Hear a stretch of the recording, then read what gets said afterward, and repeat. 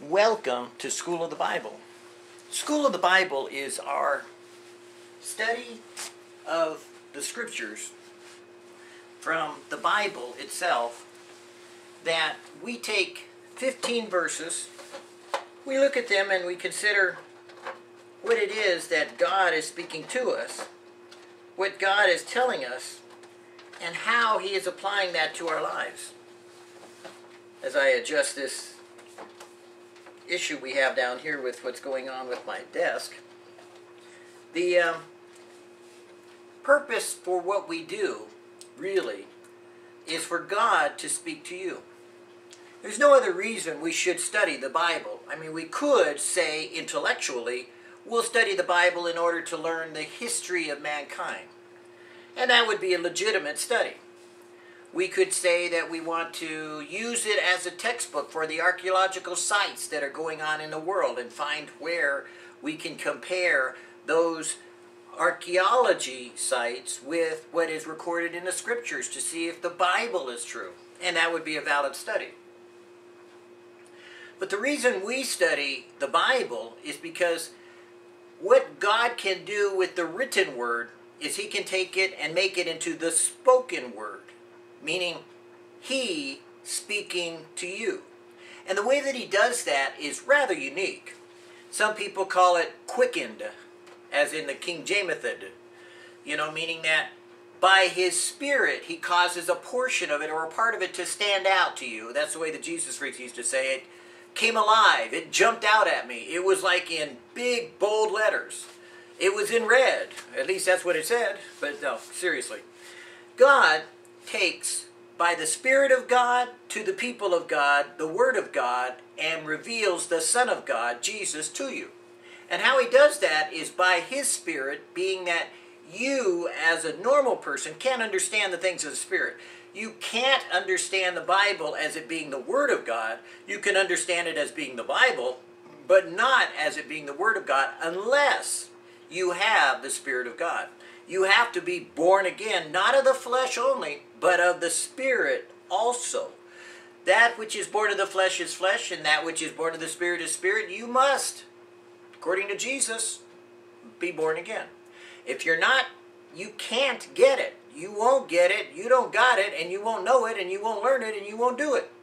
That's the bottom line, and why so many Christians that don't have the Spirit of God aren't understanding the Bible, don't know what they're reading, and don't remember or recall what is being said or taught because they don't have the Spirit of God within them.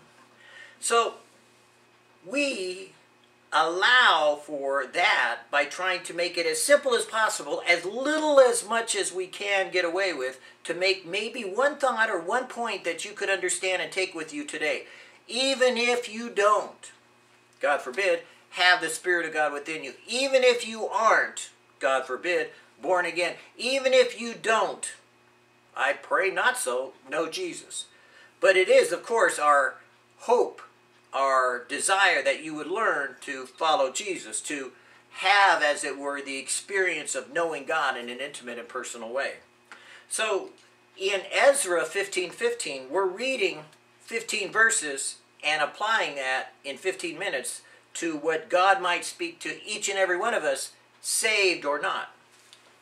So we read in Ezra, Now in the first year of Cyrus, king of Persia, that the word of the Lord by the mouth of Jeremiah might be fulfilled, the Lord stirred up the spirit of Cyrus, king of Persia, that he made a proclamation throughout all his kingdom and put it also in writing, saying, Thus saith Cyrus, king of Persia, the Lord God of heaven hath given me all the kingdoms of the earth, and he hath charged me to build him a house at Jerusalem, which is in Judah. Who is there among you of all his people? His God be with him. And let him go up to Jerusalem, which is in Judah, and build the house of the Lord God of Israel. He is the God, which is in Jerusalem. And whosoever remaineth in any place where he sojourneth, let the men of his place help him with silver and with gold, and with goods, and with beasts, beside the freewill offering for the house of God that is in Jerusalem. Then rose up the chief of the fathers of Judah and Benjamin, and the priests and the Levites, with all the men whose spirit God had raised to go up to build the house of the Lord, which is in Jerusalem.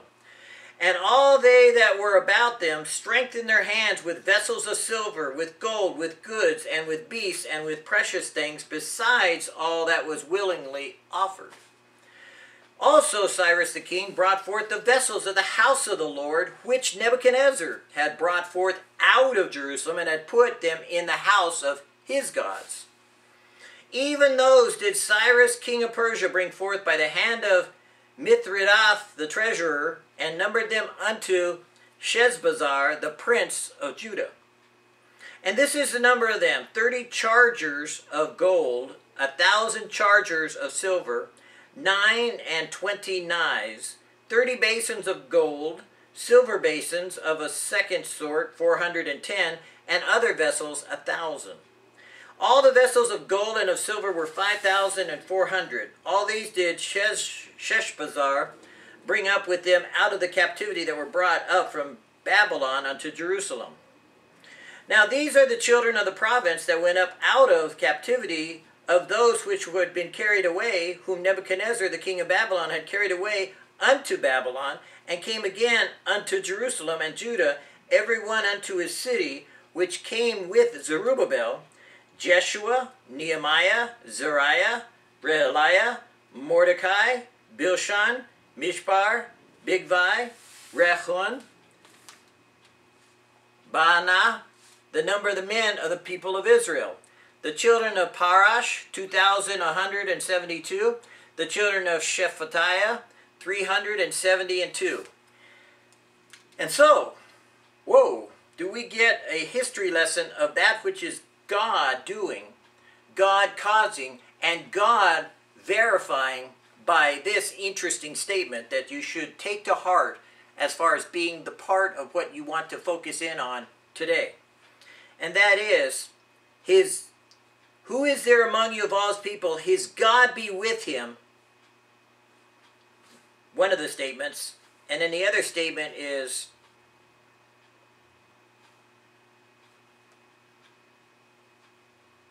I know the silence is golden. ah.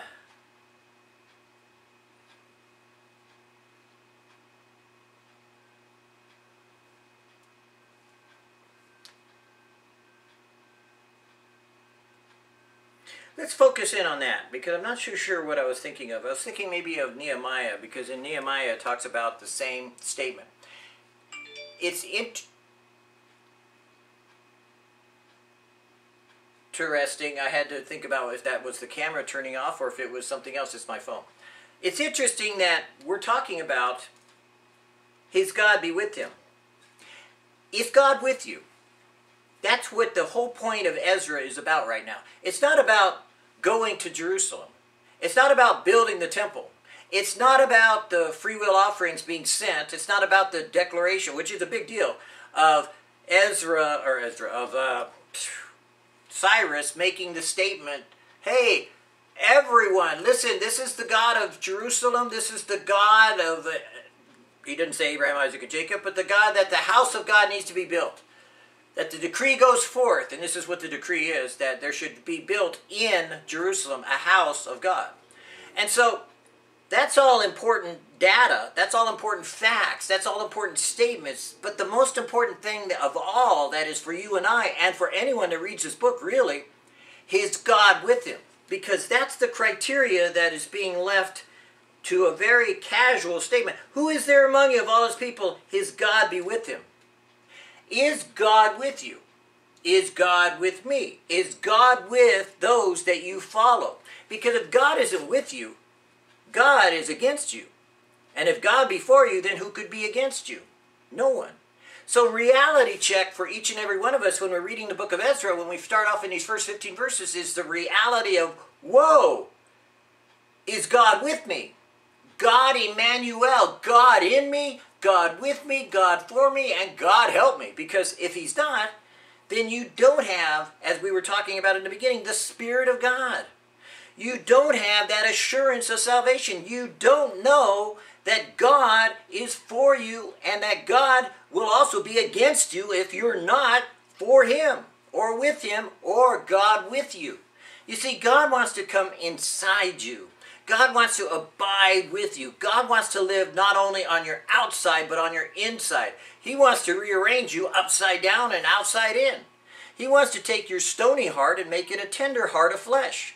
He wants you to go up and go out and to build the house of God. Not your churches locally and everything else to build some kind of, you know, manifestation of what you believe in or something that makes you feel good, but rather he wants you to follow him.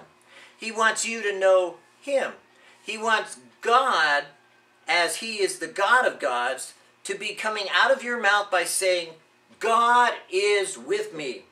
God is with me. His God be with him. So my question to you is that you should ask yourself, even as you study the Bible, is God with you? If not, then you know what you need to do. Because you need to study, learn, and then apply the fact that you need God more than you need to study. So stop what you're doing and ask God, simply saying, God, be with me.